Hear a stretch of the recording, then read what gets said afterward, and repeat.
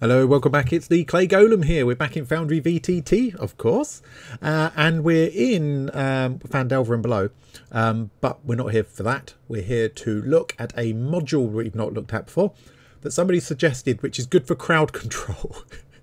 and when we say crowd control, we mean our players. Uh, the module we're looking at right at the top of my list is called Raise My Hand. So if you've got rebellious groups who keep doing annoying things like talking over each other, um, especially when combat's going on. Um, you can use this as a way to sort of help control the group, uh, set a bit of pace and a few rules um, if you need it, because uh, we all know that people do hopefully get excited when they're playing um, and can um, potentially be disruptive. So uh, let's start off by looking at some of the settings. So configure settings is at the top here. There's a whole bunch of things we can do uh, with regard to toggling, um, excuse me, toggling the hand on or off. Um, does it show the hand to the players? Do we display a, uh, a UI notification? Um, we can have those notifications for everybody or only the game master. Do we want to display a chat message? If we do, do we want it only for the game master? So that's quite nice. A couple of images that we can change if we want to instead of the default that I've got in at the moment. Um, we can show uh, some dialogue. Uh, let's tick that one on, just see what that does. Uh, replace chat dialogue image with player avatar. We'll come back and change that in a moment, see what that looks like. I think I know what that's probably going to do, but we'll check it. Um, we can have a little sound here that plays. I've got mine on just for this purpose. Um, and then there's this thing called X card, which I'm not going to look at right now. So what this actually does for all players and the GM, on the left hand side, I've just got this little hand icon. If I hover over it, it says raise my hand. Let's just bring up the chat here. If I click that, oh, there we go. um, we get that little ding we get this image in the middle of the screen saying auto DM has put their hand up and we've got one in the chat. Now that's because I've got a whole bunch of the different ones turned on. You're probably not going to want them all turned on. You can turn some off, some on, etc.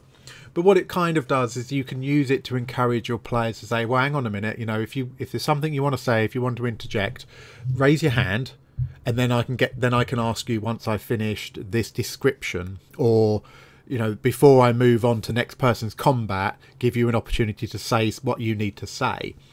Um, I would I would hope that you're when you're doing face to face, you're sitting down. For those of you who've done that, because um, not everybody has, of course. Some people have only ever played role playing games online.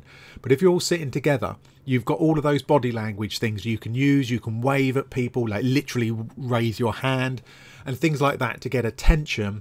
Um, as the DM, you know, you can gesture for people like quiet down, quiet down. You know, I'm trying to listen to that person. When everybody's online and you've only using your voice, because you might not even have cameras on, that becomes much more challenging. So you might find that this is a really good crowd control to instill some discipline. Everybody will get a turn, um, but I'm going to be looking at chat and going, right, auto DM, you add your hand up first.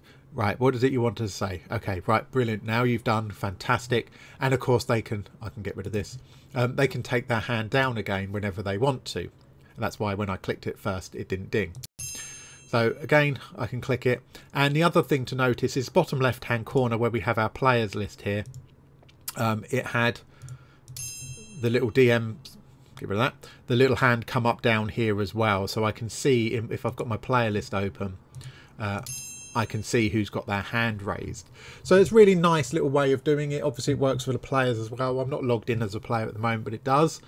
Um, yeah, I mean, it's some people are going to go, no, I don't need that for my group. I mean, I've got one group where um, I have to single people out. and I've got a couple of very quiet players.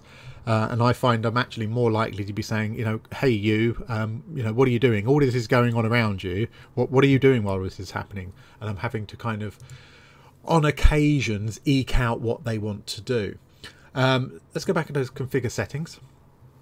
Um, there was one about replace the chat with the avatar. Let's tick that on. Let's try that again. Go back to my chat over here.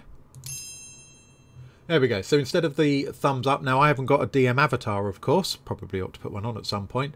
Um, but that's going to bring up your actual icon for whichever player it is. So whichever actor um, they have got. So that's that might be another way you want to do it. It's much it's much easier to suddenly see, oh right, Haley wants to say something, as opposed to somebody wants to say something and then having to read the name. I know it's just a name; it's not difficult, but you might just like that. Um, especially if you're showing it to the other players rather than it just being a DM one. Because remember, one of those settings was about chat message only the DM can see it. Um, so you might want to turn that on. So only the GM seeing it, whether it's avatars, whether it's you know their name and the hand icon, whatever's going to work for you, and you can turn on, turn off um, all of these functions. There's quite a few in there. So only a quick little one, um, but nice. If you've got a party that needs a bit of crowd control uh, and you need a little bit of extra help managing those crowds, this could be exactly what you're looking for. So um, yeah, there you go, nice and easy. Um, that's pretty much the end of the video. So um, yeah, uh, if you use this, if you find that you need to use this, um, drop a comment. Let us know if you are using it, uh, if you find it's particularly useful. I don't think for my groups I need it, um, but bigger, rowdier groups, I can absolutely see a place for it. Anyway, thanks for watching. You take care. I'll see you in the next one.